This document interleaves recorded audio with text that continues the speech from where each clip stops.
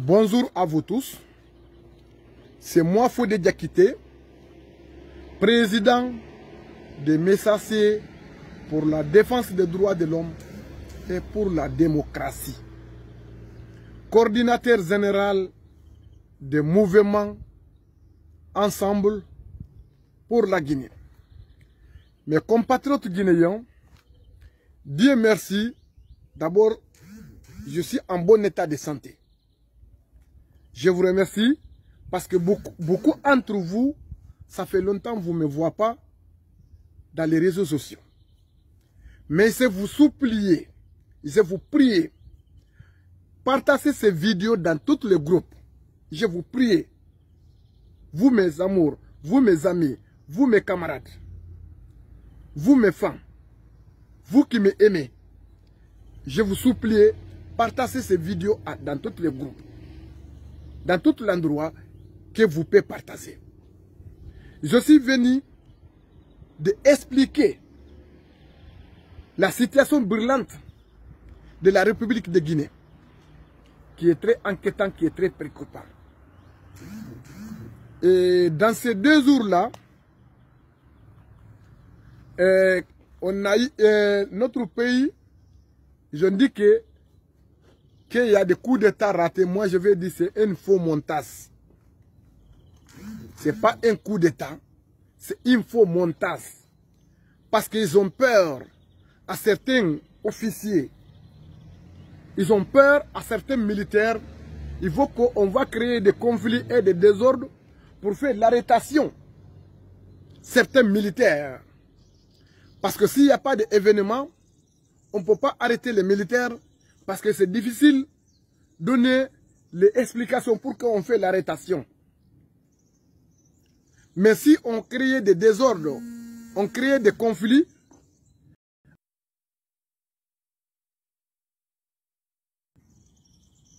c'est très facile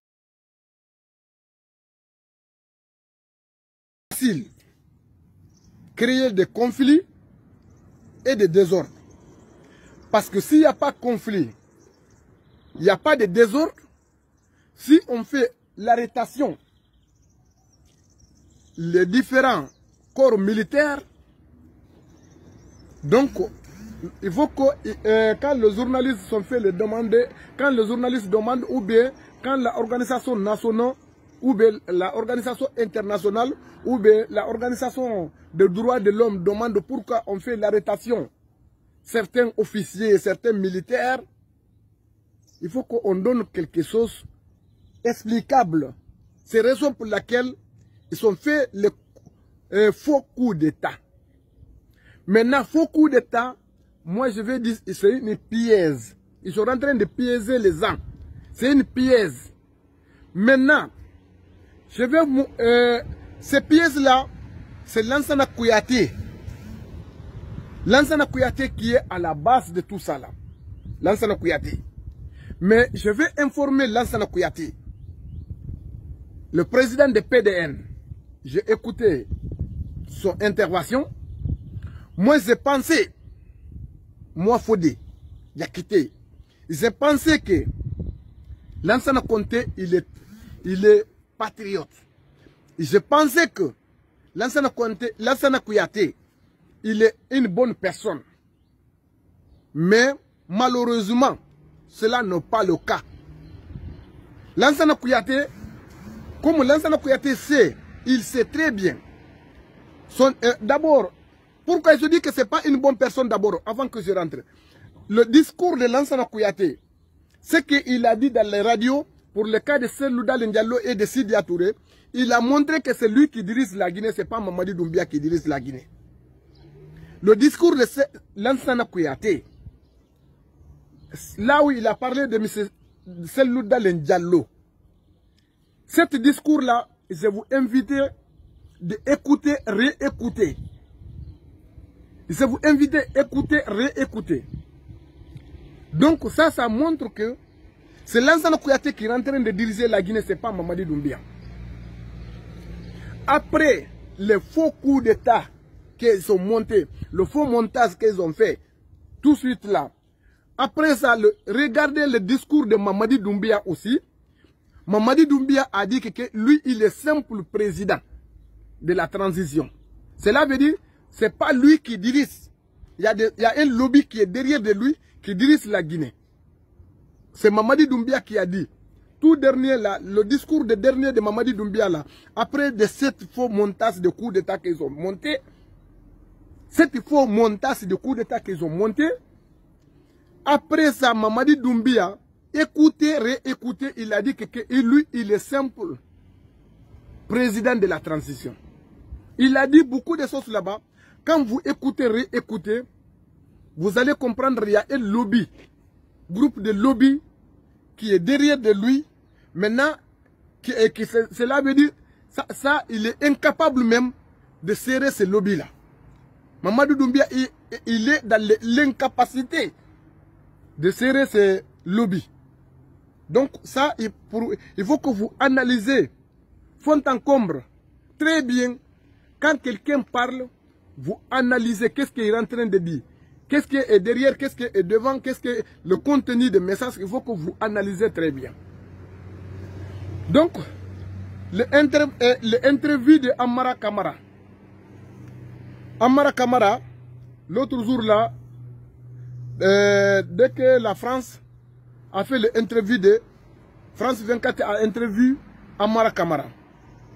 Ce que Amara a dit, cela veut dire ils n'ont pas tout sincère avec la Guinée, ils n'ont pas tout sincère avec les Guinéens. Maintenant, quand on fait une mandat, mandat d'arrêt, quand on dit, on, on a convoqué Alpha Condé, Greffe a convoqué Alpha Condé, la tribunal guinéen, la justice guinéenne a convoqué Alpha Condé. Il y a un contrôle judiciaire contre Alpha Condé. Préalablement, on laisse Alpha Condé aller partir à Turquie pour aller demander asile politique à Turquie. Maintenant, Alpha Condé va rester à Turquie, il va diriger la Guinée. Maintenant, à la même temps, on convoquait Selouda Diallo, à la greffe, on convoquait d'autres personnes. Donc, cela veut dire qu'ils n'ont pas sincère. Sinon, si justice, si justice guinéen a, déjà rappelé quelqu'un, il est en Guinée, il n'a pas sorti dans le territoire guinéen, comment on peut laisser sortir sans une autorisation de la justice pour qu'il sorte dans, dans le territoire guinéen Donc cela veut dire ils n'ont pas sincère de la Guinée, c'est un lobby qui est là, c'est un groupe de euh, c'est un groupe d'ennemis de la République de Guinée qui sont là, qui vont dire, ah, nous sommes de bonnes personnes, nous sommes bonnes personnes, alors qu'ils sont loin d'être bonnes personnes. Il faut que le Guinée analyse toutes les situations-là. Lansana Kouyaté, c'est lui qui est en train de créer les conflits et des désordres de la, de la Guinée. Parce que Lansana Kouyaté a trahi la Guinée plusieurs reprises. Lansana Kouyaté, le projet de coton, le procès de coton. Lansana Kouyaté a détourné milliards de milliards de projets de coton. Combien de millions de dollars américains? Les projets de coton. Donc, comme Lansana Kouyaté sait que si Mamadi Doumbia n'est pas fait la justice pour les projets de coton, parce que le projet de coton peut acheter plus de 20, 20 avions pour la Guinée. On parle de Air Guinée que celui-là a vendu. Un seul Air Guinée, un seul Air Guinée qui est, qui est en panne, on parle de Air Guinée, que celui-là a vendu. Un seul avion de Air Guinée. On convoquait Air Guinée, celui-là pour Air Guinée. Le projet de coton peut acheter plus de 20 avions. 20 Air Guinée. 20. Plus de, plus. Même, même si on dit qu'il peut acheter 40 avions pour la Guinée, le projet de coton, que Lansana Kouyaté a détourné, il peut acheter plus de 40 avions pour la Guinée. Maintenant, cela, on ne parle pas de projet de coton de Lansana Kouyaté. Parce que c'est un lobby qui est là, c'est un système qui est là. C'est un groupe de mafias bandits qui sont là. On laisse Lansana Kouyaté tranquillement. On ne parle pas de projet de coton. Quand on parle, là, après la mort de Lansana Conté, l'argent qui est dans les sous banques, notre économie guinéenne qui donnait la valeur de la monnaie guinéenne, notre fonds de garantie qui est dans le compte banquier de Suisse, l'ancien Conté a, retiré tout cet argent-là en Suisse Bank. Lansana Kouyaté a retiré tout l'argent là en Suisse Bank. Il a détourné cet argent là. Ça peut c'était plus de 100, 100 Guinée. Cet avion, l'argent qui est dans le Suisse Bank de la Guinée, dans le compte banquier de la Guinée, en Suisse, notre l'argent qui était, qui était la mort de Lansana Conté, notre garantie, c'est que est, donné le garant de la franc, franc le monnaie guinéen, pour donner la valeur de notre, notre l'argent dans les fonds monétaires internationaux, qui est, qui est, qui est un, un, stockage de la compte banque de Suisse. Lansana Kouyaté a retiré cet argent-là. Lansana Kouyaté a retiré cet argent-là. Et, donc, personne ne parle de ça. Ça, ça peut c'était plus de 100 avions pour la Guinée, 100 Air Guinée pour la Guinée. Ça peut c'était plus de 100 Air Guinée pour la Guinée. On ne parle pas ça, mais on parle une seule avion pour Air Guinée, celle a vendu, celle a vendu Air Guinée, celle a vendu Air Guinée. Donc, si réellement, les Guinéens, on parle véritablement de, bonnes choses on parle de la justice honnête. La place de l'ancien Kouyaté, c'est dans, les prisons. Il n'a qu'à rembourser tout cet argent-là. Mais on ne parle pas de l'ancien Kouyaté. Même le faux, montage de coup d'État, c'est l'ancien Kouyaté qui a fait. C'est un faux montage. L'ancien Kouyaté, tout son discours, c'est très clair. Ça montre qu'il il a une connaissance de quelque chose. Tout le discours de l'ancien Kouyaté, cela veut dire qu'il a une connaissance de choses. Donc, Lausanne ne parle pas ça. L'ancien Kouyaté circule librement, sans aucune enquête judiciaire, sans aucune enquête, sans aucune préoccupation. Mais alors que le premier ennemi de la République de Guinée, c'est l'ancien Kouyaté. Au jour aujourd'hui. Au jour aujourd'hui. Je n'ai pas dit demain. Au jour aujourd'hui, le premier, le numéro un de ennemi de la Guinée, c'est l'ancien Kouyaté. Maintenant, Lausanne ne parle pas Lansana Kouyaté. Si vous voulez, on dit la vérité. Si vous ne voulez pas, on dit la vérité. Mais la vérité est bonne à dire.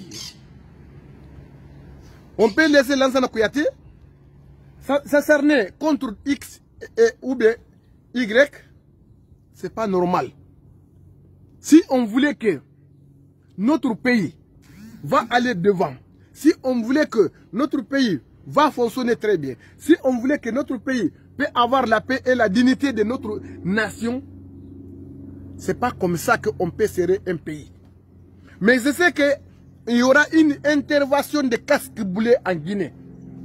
Il y aura une intervention militaire de casques boulés en Guinée. Ce que nous, les Guinéens, on ne souhaitait pas. Parce que quand casque boulet rentre en Guinée, c'est difficilement il va sortir. Quand casque boulet casque boulet, militaire casque boulet rentre en Guinée, c'est difficile, ils vont sortir. Parce que pourquoi?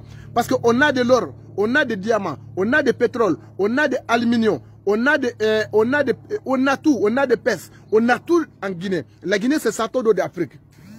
Maintenant, si le, euh, ce qui s'est présenté aujourd'hui, ils sont des cadres de la Guinée, ce qui s'est présenté aujourd'hui, qu'ils sont des autorités de la Guinée, s'ils ont un amour pour la Guinée, s'ils ont amour, s'ils ont une considération pour la Guinée, pour les Guinéens, ils doivent éviter les interventions de casques boulés dans notre pays. Parce que si casque boulet rentre en Guinée, ça va être catastrophe. Ça va être un problème extrêmement grave. Mais ils sont en train de provoquer de l'intervention de casques boulés dans notre pays. Ils sont en train de provoquer des casques, l'intervention des casques boulés dans notre pays. C'est pas bon pour la Guinée. C'est pas bon pour les Guinéens. Évitez de l'intervention des casques boulés dans notre pays. Parce que si la situation continue comme ça, il y aura une intervention des casques boulés dans notre pays. Ce qui est extrêmement dangereux pour la Guinée, ce qui est extrêmement dangereux pour les Guinéens, ce qui est regrettable pour la Guinée. C'est très regrettable avant qu'on va regretter, avant qu'on va dire si on le savait, avant qu'on va regretter ce, euh, ce qui peut provoquer l'intervention des casques boulés dans notre pays, de la Guinée, de la République de Guinée, on doit éviter. C'est le bon moment avant que Casque Boulet vienne dans notre pays, c'est le bon moment, censé les méthodes, censé la direction. On n'a aucun avantage. On n'a aucun intérêt d'intervention de Casque Boulet. Trop, c'est trop. Donc, ce qui, ce qui se dit que nous sommes intellectuels, ce qui se dit que nous sommes là, on est parti pour la Guinée. C'est ça qui se dit dans, dans mon précédent vidéo. Ils ont dit que tous les cadres là qui sont euh, en train de taper leur poitrine aujourd'hui pour la Guinée, que, sont, que c'est eux qui sont là, et comme ils se pensaient que c'est eux qui sont intouchables de la Guinée, c'est eux qui sont lions de la Guinée, c'est notre l'argent contribuable guinéen qu'on a financé ces salles-là. Ils ont tout boursier. On l'a donné les bourses pour aller étudier là, euh, ailleurs. Ils ont aussi ceux qui n'ont pas parti au Sénégal, il y a d'autres qui sont partis au Maroc. Il y a d'autres qui sont partis en France ici. Il y a d'autres qui sont partis en Chine, en Russie, etc. Il y a d'autres qui sont partis à, Canada étudier. C'est nous l'argent, notre l'argent contribuable de la Guinée. On a donné les bourses pour qu'ils n'ont qu'à aller étudier euh, ailleurs. Pour venir aider la Guinée, pour, pour diriger la Guinée dans une bonne condition. Une condition adéquate. Maintenant, ces gens-là, Qu'est-ce qu'ils ont fait Ils ont allé étudier avec notre l'argent contribuable. On a payé leurs études. On a payé tout pour eux. Ils sont partis étudier. Comment ils vont tromper la Guinée Comment ils vont mettre la Guinée en retard Comment ils vont mettre la Guinée en genou Au lieu de donner la Guinée la solution pour la Guinée, au lieu de donner une stratégie, une bonne stratégie pour le développement, au lieu de mettre en place un projet national, au lieu de mettre en place un projet de développement durable, et ils sont là pour détruire la Guinée, pour déstabiliser notre pays. C'est regrettable. On a donné notre argent, on a donné notre âme pour donner éducation de base à ces gens-là. Maintenant, ils vont venir maintenant pour nous, pour nous trahir. On dit, maintenant, on est en train de dire ces, ces gens-là qui sont intellectuels. Où se trouve la intellectualité de ces gens-là? Où se trouve? Le patriotisme de ces gens-là, c'est regrettable, mes frères guinéens. Donc, les cadres guinéens, au lieu d'aider la Guinée, ils vont détruire la Guinée. Toujours, ils vont aller à l'école apprendre comment on va détruire la Guinée. Comment on va déstabiliser la Guinée. Comment on va mépriser les populations guinéennes. Comment on va bastonner des populations guinéennes. Comment on va privatiser l'avenir de la nation guinéenne. Ça, c'est regrettable. Un gouvernement qui est en faillite, un gouvernement qui, qui est incapable de donner les, les, nécessités basiques de ses compatriotes, la priorité euh, de, euh, de, ses citoyens, de, de, nos confrères, ça, ça a été oublié. C'est leur intérêt personnel égoïste qui les intéresse. Ce n'est pas l'avenir de notre nation. Quand nous regardons Amara Kamara, Amara Kamara, comme la Guinée, dans ces deux jours-là, il y a une image qui est circulée dans les réseaux sociaux. Mamadi Doumbia dans le palais Mohamed V. Il est entouré avec 20 bérets rouges avec les armes de guerre. On dirait qu'on est en train d'aller de, de, la guerre. Comme on, on dirait qu'il y a des guerres à Afghanistan ou bien il y a des guerres euh, de Libye ou bien il y a des guerres pour aller en Palestine ou bien d'autres pays plus de 20 militaires qui sont armes de guerre dans le palais Mohamed V. Il est en train de euh, descendre, il est en train de descendre des escaliers avec tapis rouge. Si pour eux, si pour Mamadi Doumbia, avec ses femmes Mamadi Doumbia, si ça c'est une fierté pour eux, pour nous c'est une enquête pour nous, c'est une préoccupation pour nous. Parce que cette image-là a montré que, le image-là a montré que la Guinée est inestable, la Guinée est en danger, la Guinée est en situation très critique. Parce que cela veut dire qu'il y a, l'insécurité, même Mamadi Doumbia, même au palais Mohamed V, il n'y a pas de sécurité là-bas. Donc sinon, quand lui descend l'escalier dans le palais Mohamed V, comment on peut prendre 20, 20 militaires avec armes de guerre dans le palais Mohamed V d'abord? Ce n'est pas dehors. Maintenant, s'il sort dehors, cela veut dire qu'il va aller avec trois bataillons. On a vu Bambeto l'autre jour là. Les images qui sont sorties à Bambeto, qu'il est parti prier à Bambeto. Les gens là, Ils ont créé des euh. Ils ont appelé les élèves pour venir là-bas, parce qu'il y a beaucoup de gens qui sont en tennis élèves. Ils n'ont pas venu pour prier. Ils ont créé des embouteillages. C'est la raison pour laquelle ils disent que beaucoup de gens qui sont là-bas pour aimer Mamadi Doumbia. Ça, c'est faux. Parce que il y a des hélicoptères en haut, il y a des hélicoptères partout, il y a des, il y a des, il y a des, un bataillon, un, un bataillon, deux bataillons, trois bataillons qui est là-bas créé des embouteillages. Les gens n'ont pas le passage. Si Lausanne n'a pas de passage, obligatoirement, les gens vont rester là-bas. Parce que quand tu, quand un petit mouvement, ils vont t'éliminer directement, ils vont te tuer. Ils vont dire que, que tu es contre lui. Maintenant, c'est raison pour laquelle les gens qui sont venus trouver cette situation, par une surprise, ils sont obligés de rester. C'est pas parce que l'amour de Mamadi Doumbia. Et ils n'ont pas là pour l'amour de Mamadi Doumbia. C'est une situation qui a obligé ces gens à rester là-bas. Si les gens ne comprennent pas, il faut qu'on dise la vérité. C'est le, bon moment de dire la vérité. Donc, Amara Kamara aussi. Amara Kamara a pris sa famille.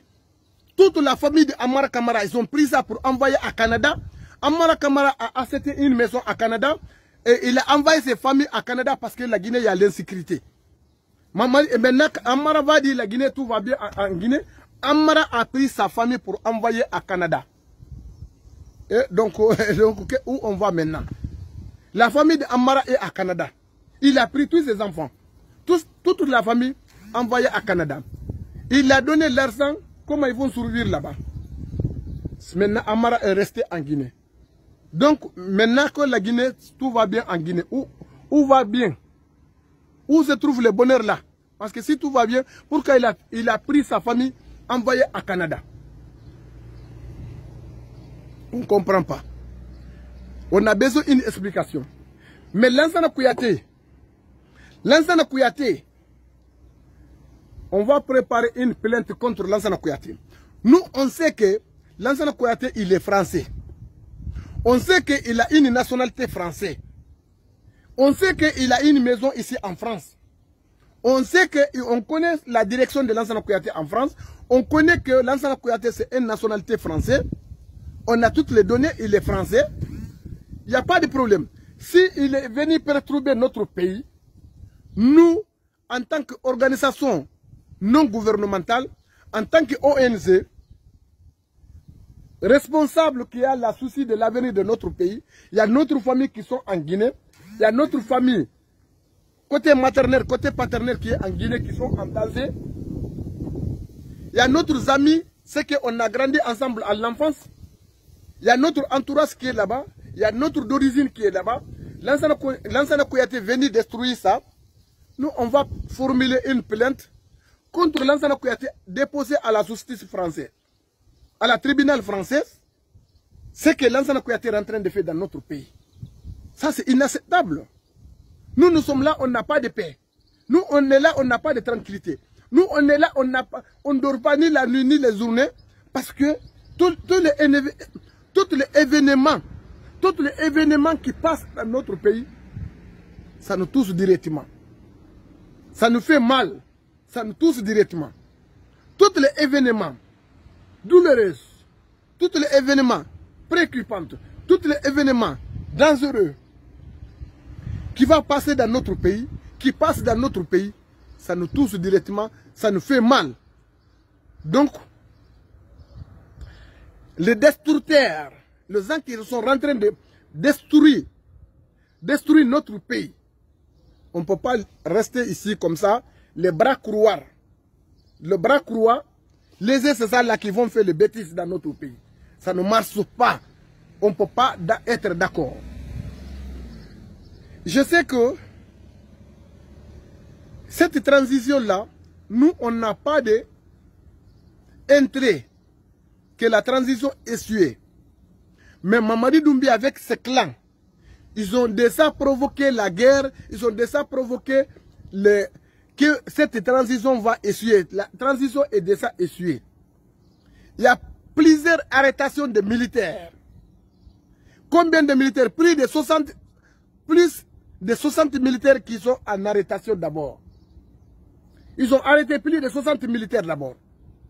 Différents corps selon information, il y a plus que, dans ces deux jours-là, plus de 18 personnes, 18 militaires qui est mort d'abord. Plus que 18 militaires. 18 militaires qui est mort d'abord. Selon information que la télévision guinéenne ne dit pas, la radio guinéenne ne dit pas. Selon information. Parce qu'il y a un règlement de compte là-bas. Entre eux, il y a des règlements de compte. Maintenant, la pauvreté gangrène dans notre pays. La gabésie financière gangrène dans notre pays. Les populations guinéennes ne mangent pas à leur faim. Il n'y a pas de route, il n'y a pas d'eau potable, il n'y a pas la santé, il n'y a pas d'alimentation, il y a de malnutrition, il n'y a pas la paix, il n'y a pas la tranquillité. Comment on peut vivre?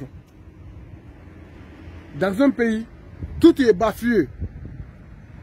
Ceux qui sont détournés l'argent contribuable guinéen, l'infrastructure, routières, l'argent qu'ils ont donné pour faire la route en Guinée, le directeur infrastructure routière en Guinée, lui, il, circule librement, sans aucune enquête judiciaire, sans aucune préoccupation.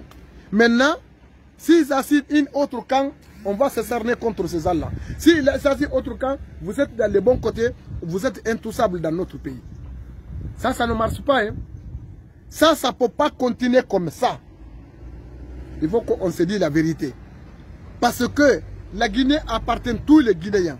Aucune Guinée est supérieure à une autre Guinéen.